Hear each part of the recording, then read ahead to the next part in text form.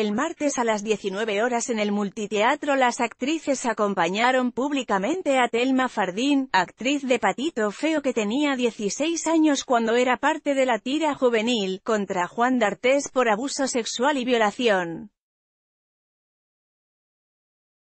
Su testimonio completo, durante nueve años lo anulé para seguir adelante. Hasta que hace unos meses escuché a otra chica acusar a la misma persona, y eso fue un cachetazo para mí. En el año 2009 estaba de gira con un programa infantil muy exitoso. Tenía 16 años, era una nena.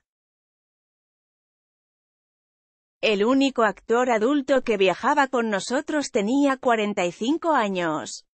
Una noche comenzó a besarme el cuello y yo le dije que no. Me agarró la mano, me hizo que lo tocara y me dijo mira cómo me pones haciéndome sentir su erección.